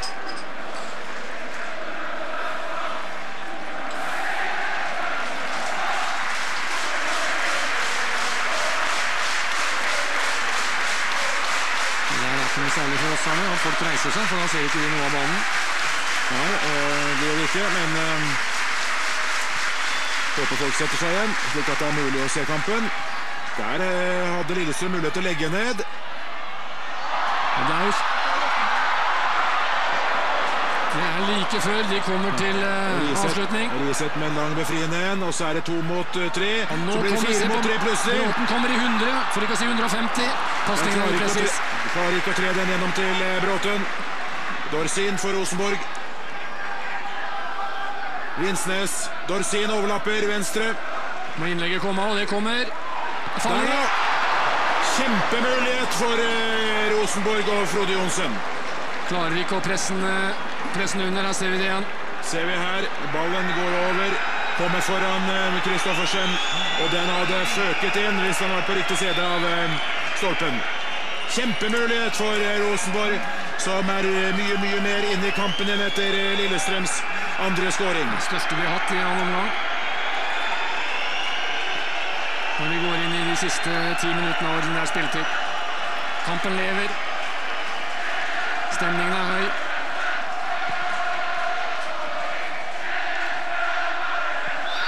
Får Sundgård et eh, frispark langt ut på banen der. En duell med Mørjan Berg. Kjærkomment for Lillestrøm. Får en bra mulighet. Og Og bruker, som vi ser, bruker bruker tid på disse mm, frisparkene nå. Får dratt ned tempo. Og det har jo vært en eh, anstrengelse ute i varmen her. Ingen tvil om det.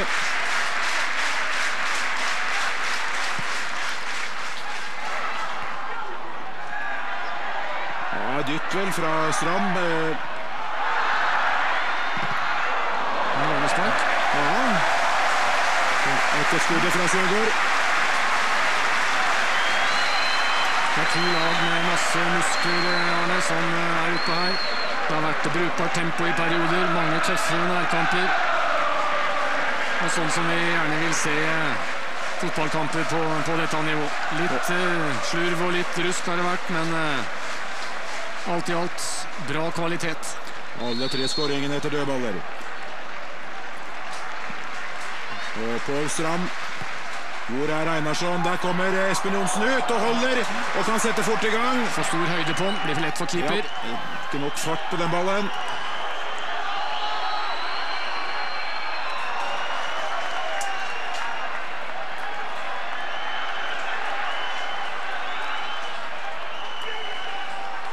Så er Rosenborg ballsikre. Og her har eh, Vinsnes hele banen alene. Og, her, Farlig. og der er Det ikke offside. offside eh, eller frispark, jeg vet ikke.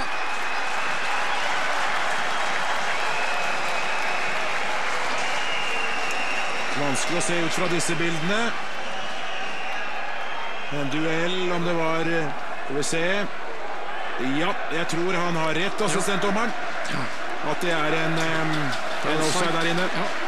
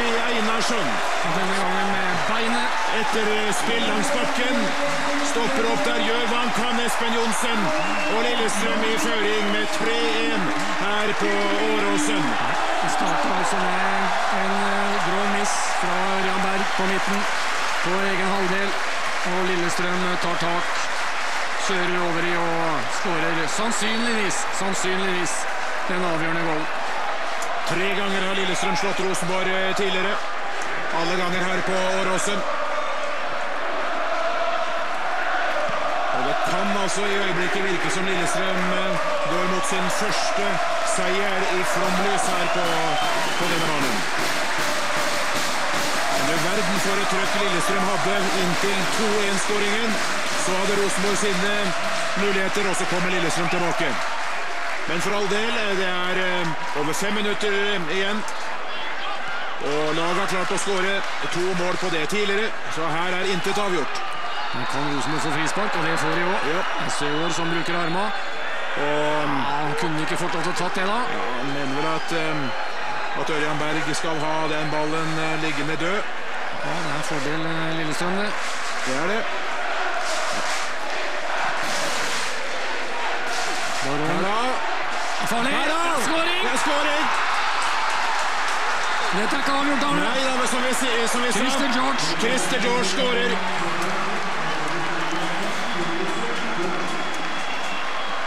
Og da blir det match til 1000 de siste fem pluss pluss. Som jeg sa, Egil, det har skjedd større under enn det. Enn to mål på fem eh, minutter. Det er Johnsen naturligvis som vinner i lufta. Og det er sterk prestasjon av Christer George. Kommer ikke opp i George, men det er en fin prestasjon. Han begynte jo andre omgang bra, George, med løpene sine i, em, på høyresiden der. Og dette blir litt av en avslutning de siste fire minutter pluss eh, tillagte minutter. Han var kanskje litt for eh, kjapp igjen med leppa og sa at det var avgjort. Det er det naturligvis ikke, i hvert fall ikke nå.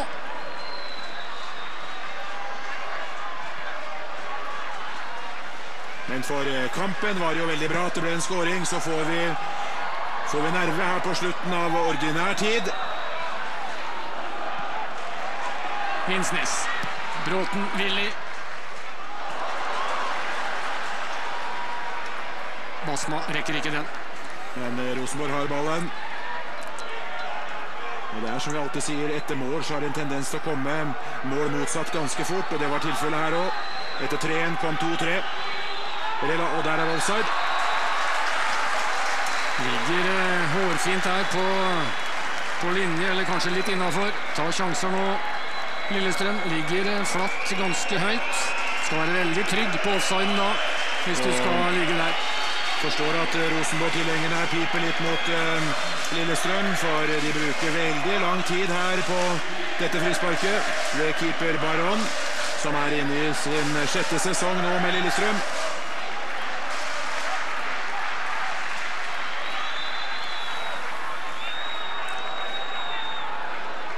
Skal Rosenborg få et mål her på slutten, og dermed 30 minutters ekstraomganger på Råsen.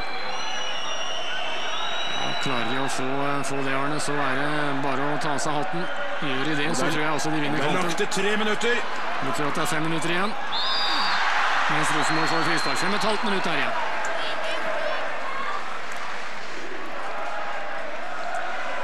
Dorsin.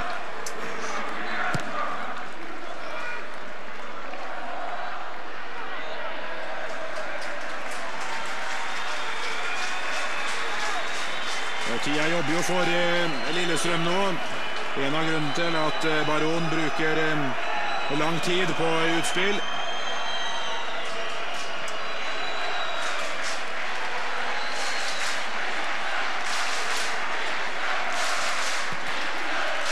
Ligger med Powell helt på, på topp. Powell får ballen.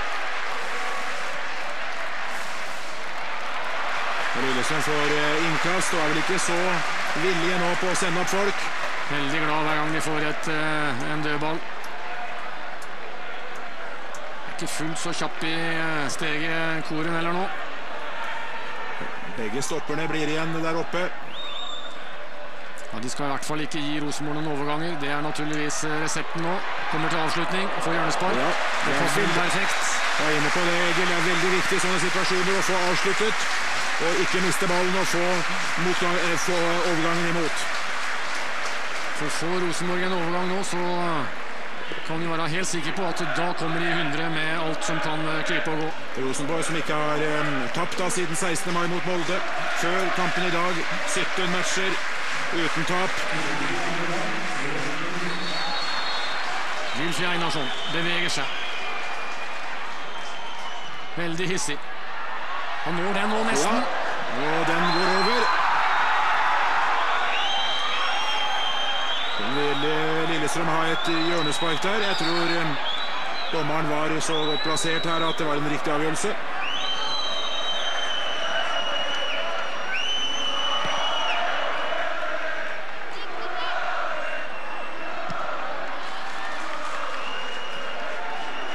Christer Basma. Rosenborg slår langt opp. Ja, det er en bra pasning for så vidt der av Basma. Får den opp i bakrommet, for nå vet han at slår vi bakrommet nå, så er det helt sikkert spillere på vei inn der. Og det er vare. Det er mange spillere fra Rosenborg i feltet. Ut fra Kippe. Ørjan vinner i lufta.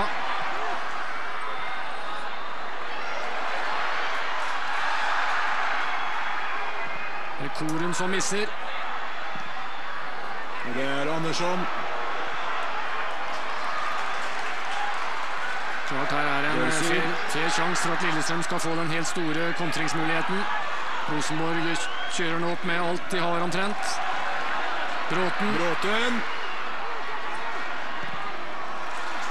Opp mot Powell, som nå ligger alene der oppe. Dorsin.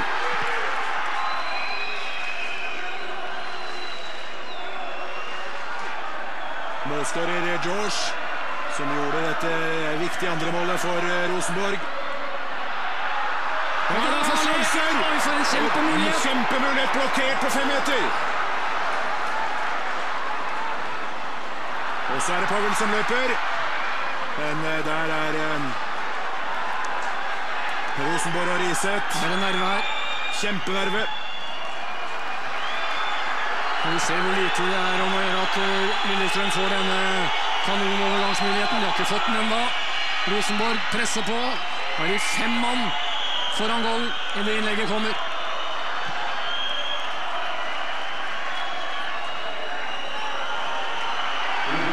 Ett og et halvt minutt igjen av denne eh, kvartfinalen hvis Rosenborg ikke skårer nå på 90 sekunder. Kampen som har utvikla seg til å bli en thriller.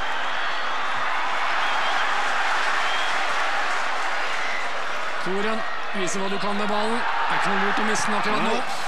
Men gjør i hvert fall halvveis godt igjen ved å tvinge fram et innkast. Du verden, eh, cup er cup. Spenning bestandig. Vi fortsetter i Bergen i morgen med Brann Bryne direkte. Ligger vel an til en eh, stor kamp det også, men nå følger vi de siste sekundene. Bråten, Hoften langt framme. Får litt hjelp av dommeren, og Hoften kan skyte. Men eh, det var kanskje, det siste som skjer. Det er eh, litt over 30 sekunder igjen, og jeg tror dette her eh, betyr at Lillestrøm er i semifinalen.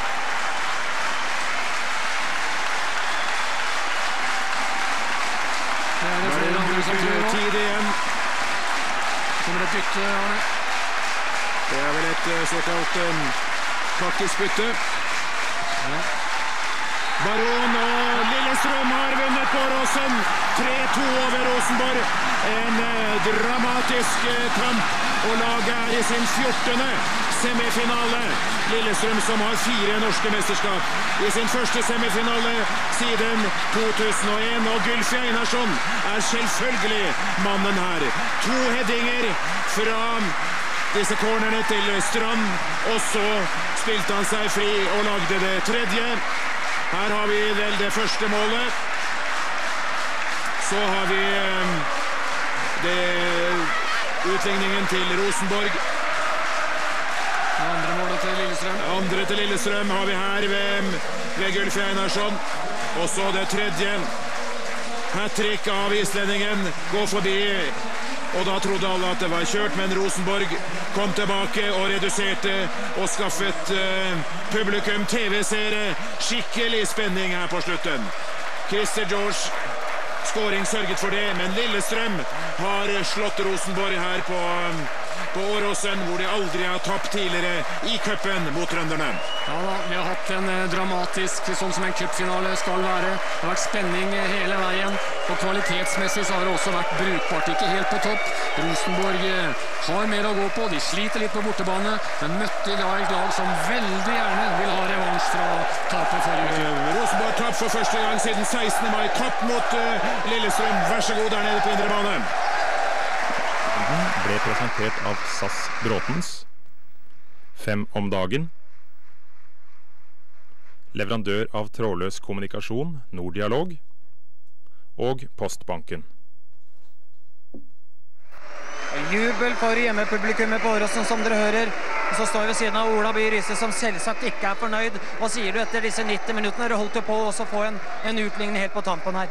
Ja, da vi gjorde det, men uh, vi henta frem noen krefter på slutten når kampen egentlig var tapt. Og det var synd at ikke vi klarte å få ut det enda litt tidligere. Men uh, jeg syns det så ut som vi uh, var mer eller mindre tom for krefter i en periode andre omgangen. Ble det en sånn kamp som du frykta på forhånd? Altså Alle vet hvor tøffe Lillestrøm er på Åråsen. Det blir det, og det er en kamp hvor vi er nødt til for det første å kjøre overgangene våre med mer presisjon. Og for det andre så er vi nødt til å sette målsjansene våre. Og så er vi nødt til å Vi gjorde for dårlig arbeid sånn på defensiv dødball. Vi, vi plukka ikke opp folk, og da blir vi straffa. Ok, takk skal du ha, Ola. Så skal vi gå litt bort der og få Gylfi Einarsson. Hat trick, om ikke ekte, på Lillestrøm. Men den store helten. Gratulerer, Gylfi. Ja, takk for det. Eh, I denne stund så må jeg faktisk stille spørsmål som jeg alltid gjør. Eh, hvordan var det å spille mot Rosenborg og bli tremålsskårer i kveld? Eh, utrolig bra. Eh, det er artig til hvert mål. Kjapt til slutt. Eh, jeg vet at du, kontrakten din går ut eh, i høst. Har du skrevet under en ny? Nei. Nå skal du vel ha enda mer lønn etter kampen i kveld, går jeg ut ifra? Nei, vi får se. Eh, det er jeg og jeg, jeg, jeg er Norge som snakker med. Ok, takk skal du ha. Få inn og feire med de andre gutta. Det var alt vi rakk fra Åråsen. Vi er tilbake fra Bergen i morgen. Brann mot Bryne klokka 20. Og etter det får vi også vite hvilke lag som møter hverandre i semifinalen i cupen.